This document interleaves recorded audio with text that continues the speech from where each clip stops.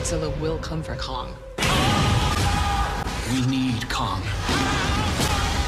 The world needs him.